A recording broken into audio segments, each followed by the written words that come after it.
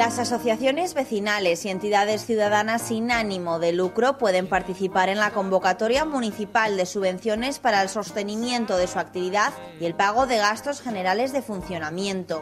Las entidades que quieran optar a estas ayudas deberán presentar sus solicitudes hasta el día 6 de abril en el Registro General del Ayuntamiento. Este año, Santander destina 120.000 euros a esta línea de subvenciones, un 22% más que en 2016, cuando se repartieron 98.000 euros entre 278 asociaciones, 46 vecinales y el resto de otros ámbitos. La convocatoria de ayudas municipales para asociaciones de vecinos y entidades ciudadanas tiene el objetivo de fomentar la participación ciudadana y el tejido asociativo de la ciudad y servir como reconocimiento a la labor que estas agrupaciones llevan a cabo en la vida de la ciudad y en especial en la vida de los barrios. Con estas subvenciones, las entidades podrán sufragar gastos generales de funcionamiento y los gastos habituales que conlleva el mantenimiento de su actividad, como el alquiler de las sedes sociales, el pago de los suministros de agua, energía, gas, teléfono o internet, y gastos de papelería, gestoría, asesoramiento o seguros, entre otros. Para optar a las ayudas, las entidades deberán estar inscritas en el registro de entidades de Santander, desarrollar sus actividades en la ciudad y haber justificado las subvenciones en el caso de haberlas obtenido en años anteriores.